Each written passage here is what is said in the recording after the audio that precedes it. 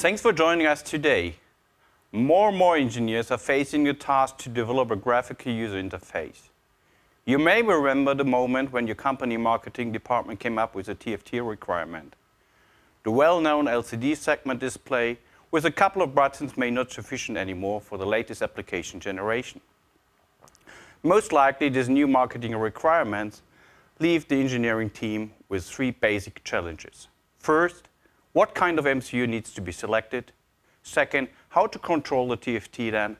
And third, how to develop an appropriated graphical user interface on the TFT. Luckily, we will try to answer these questions with the latest Display It Solution Kit. It all starts with the selection of the right microcontroller. A good choice is the widely scalable 32-bit RX 600 product series, which offers up to 4 megabyte flash and 512K of RAM embedded. In addition, these devices integrate a so-called XDMA peripheral, enabling to drive a TFT up to wide QVGA and a 16-bit color depth. Only the MCU would not make the trick.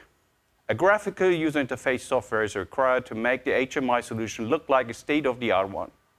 Therefore, we teamed up with our alliance partners to develop a unique graphical user interface solution package, enabling a quick and easy evaluation of these different solutions.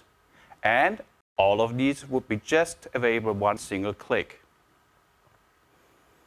The Hardware platform to enable this easy graphical user interface software testing based on the RX63N MCU, which an attached 4.3-inch wide QVGA TFT, including touchscreen. Since we believe that you want to spend some further time on the solution kit after GUI evaluation, we have added JTAG on-chip debugger into that package to support your development too. Discover the Display It RX kit. You can reach your engineering deadlines and get your costs down. Thanks for your time.